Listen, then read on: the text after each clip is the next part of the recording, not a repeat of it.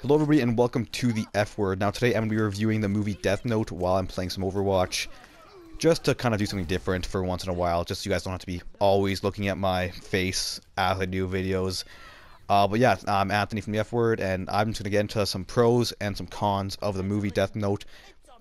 Uh, this is not a professional review by any means, so don't really take this to heart. It's not like, you know, I get paid to do this. This is just one fan of the series Death Note who watched the movie and has some uh, has some opinions on it. So I guess we should start off with the pros of the movie, which I'm not gonna lie, it had some pros. It had some good moments. It wasn't just a horrible movie. I'm not gonna say it was a great movie, but it did have its moments, and I'm gonna talk about them. Starting off with the character Ryuk, played by William Dafoe. So for anybody who's familiar with the series Death Note, you know that Ryuk was always one of the strongest and most interesting characters of the series. He's uh, Shinigami, also known as a god of death, who is the guy who's basically started this whole. Uh, who started everything that's happened with this Death Note. He's the owner of the original book, and he's given it to Light, and that's basically. I don't want to get into too much detail because I don't know if people want to go in with a clean slate as I did. I didn't really watch too much trailers for the movie, but uh, basically Ryuk is kind of the guy who starts the whole mess. And uh, William Dafoe killed it in this role. He easily stole the show. His CGI was great. His voice acting was phenomenal. And just like the look, he looked like a demon. He didn't look like, you know, like he looked like his voice matched his look in the movie. And it was just amazing. It all was so good. Uh, William Dafoe, if you guys don't know what he's been in, he's been in uh, the original Spider-Man Sam Raimi trilogy, or not trilogy, just the first one in 2002. He played the Green Goblin. Uh, he's going to be in Justice League, I believe. His role might have been taken out, uh, but he'll definitely be in Aquaman.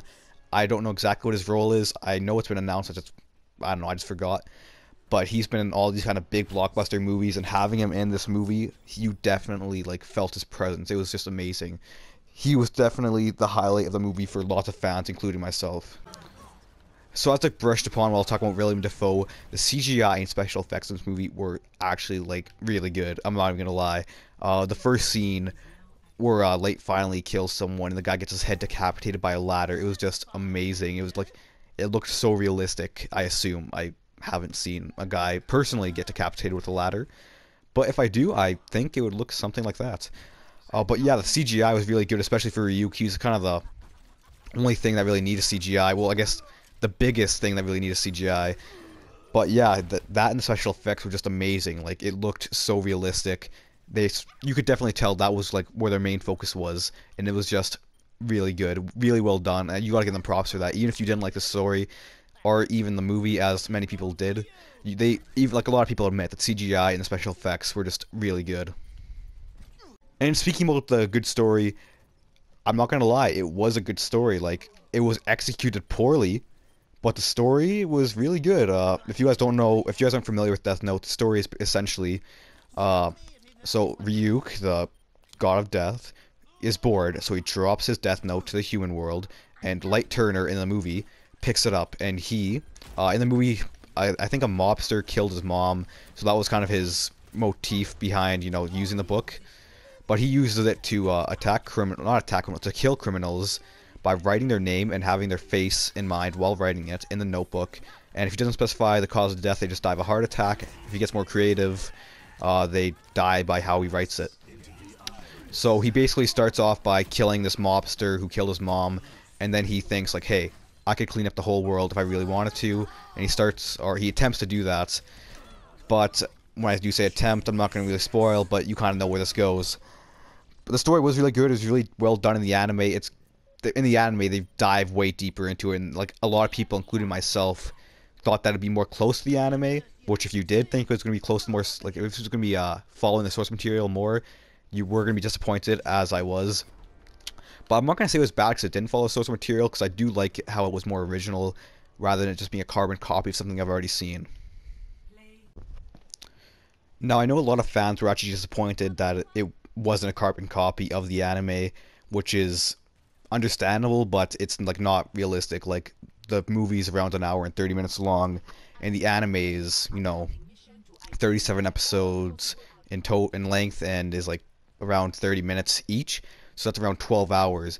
And if you thought that an hour and 30 minute long video could do that justice, you just you were setting it up to fail. You know, I I didn't really watch a lot of trailers, as I said before, so I was expecting a kind of a carbon copy thing, and I was expecting a lot of plot points to be brought up, which they weren't. And I didn't. That's not a reason why I didn't like the movie. The reason I didn't like the movie, I'll talk about more on the cons point. But for just we want to stay positive, you know, in the pro. We don't want to start bashing the movie yet. But altogether, uh, three of the main pros I saw in the movie, or at least what I thought, were William Dafoe's Ryuk. He was amazing. He killed that role, no pun intended. Uh, the good story, because it did have a good story, but it was poorly executed. And the CGI and special effects were absolutely amazing. So now going over to the con side of things, which every movie does have cons. It's not like, you know, surprising thing like, oh my god, this movie has faults. It's a horrible film. Because, you know, every film does have its flaws. Uh, I'm going to start it off just by saying Light and L. L is a super smart detective who is trying to crack this Kira case. And uh, he. I don't want to spoil too much, I'm not going to say anything. But basically, in the anime, their dynamic was like a cat and mouse kind of thing, you know? Like, L was trying to figure out if Light was Kira. Ki like, Light was trying to prove he was innocent. But in like one of the first scenes where they meet, uh, they're just sitting at this diner, and L comes out saying like, you know, I think you're Kira, and Light's like, okay, well, what are you gonna do about it? And it's like, if you're a serial killer who doesn't want to get caught, you want to like put up a bit more of a fight. So you know, this super smart detective who's cracked so many cases, you know, doesn't turn you in. But no, he doesn't even try to hide the fact. He's like kind of Batman. If you've seen these HISHE videos where he's like, do you want to know my secret identity? And just tells everybody left and right, which is actually a thing that happened when he met his uh, love interest Mia. They were just sitting at the bleachers and like, hey, do you know what this book is about? She's like, I'm good. Okay, I'll tell you. To if I write someone's name, they die. I'm like, you're in the middle of a public place. Why are you revealing this? There are a lot of plot there's a lot of plot holes in this story in this movie, but I'm not gonna lie, I still enjoyed the film. But yeah, Light and L's uh, dynamic in the film were just really tainted because it didn't feel like they were cat and mouse. It just felt like they were kind of just there talking to each other and didn't really feel like Light was really on the run from him. He didn't feel like he was really threatened by him, and didn't feel like L was a force to be like you know reckoned with. It kind of just felt like a basic standard kind of cop trying to catch bad guy story. Now I was talking about uh, Light's love interest Mia, but in the anime she's known as Misa Misa. Now, the things I didn't like about Mia wasn't just because they changed her character from the source material, because as stated before, I really didn't care that they decided to have a new take on the series Death Note. The thing I cared about was that they really compromised her whole character. Like, in the anime, she like is totally in love with Light, and she'll do anything like she can to make him happy. But in this movie, it felt like she didn't really care about Light. She just cared more about the notebook, and she wanted she was just using Light as a way to get it, which it was interesting to see a new like kind of take on her, but it felt it was just too weird because it felt like Light and Mia's characters kind of switched roles, and it just didn't really make sense.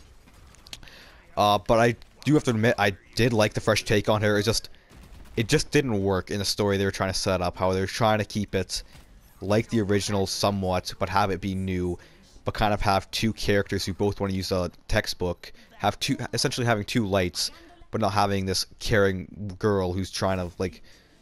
If you see the anime, you kind of know what I'm trying to get at. If you don't, this totally makes no sense to you. But Misa Misa's kind of like the caring factor. Like she's always after Light. She, well, he can use her as a tool to get what she wants. But Light and Mia, they're both trying to use each other at the same time. It's just not working. And it was really awkward to see on screen. And just you didn't really care about the relationship. It kind of just came out of nowhere and doesn't have time to kind of set itself up. So like just like nobody really had time to react to it, and nobody really cared what happened to the relationship.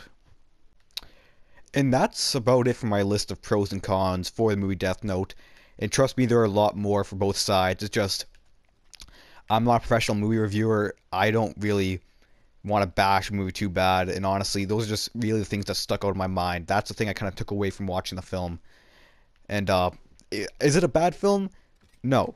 Is it a good film? Also, no. It's just a film that you don't have to think about when you watch. It's an interesting watch. It's definitely it's definitely something you want to see. Like it's not really a story that's been told. It's kind of a new take on a really classic anime, but it's still like not an overdone story. You know, it has new plot twists, new everything. It's really interesting. I really enjoyed it. I rate it a 7 out of 10. This is just me basing it on a movie itself, not basing it compared to the anime. I know a lot of people who watched the anime said it was like garbage, didn't even deserve a rating. But at the end of the day, it's just a film, okay? It tried to do this huge story. It tried to like take on this huge classic, and it had it was like Batman vs Superman. It had expectations that could not be reached no matter what they did. And at the end of the day, they tried their best, but obviously they were kind of set up to fail from the start. And that's been my uh, mini review on the Death Note movie. To kind of sum it up, my pros of the film were William Dafoe's Ryuk. He definitely stole the show. The good CGI on it, uh, and the good story. It was a new story. It still is a new story. It hasn't really been done in any other kind of Hollywood, uh, you know, film or TV show that I've seen. And then some cons were just L and Light's dynamic. They completely changed, and L's character was really, really different from what he's supposed to be. I did like the actor for L, though. I will say that L's actor was really good, despite you know the racial change, but that didn't really affect anything. Just his appearance, but I didn't really care about that. And then the character Mia was just, she was just totally different. It just didn't work in my opinion. But yeah, that's been my review. Uh, let me guys, let me know what you guys thought. If you guys were a huge fan of the anime, or if you haven't seen the anime, and you just saw the movie and you thought it was a decent film, or if you thought it was horrible, let me know in the comments below. I've been your host, Anthony. Thank you guys so much for watching. And also, this is kind of a new thing we've been trying out with video games over review. Uh, G was uncertain about it. I'm uncertain about it, but I just thought, you know what, why not give it a try? Do you guys like it or dislike it? Let us know in the comments below, and I'll catch you guys next time. Thanks for watching. Peace.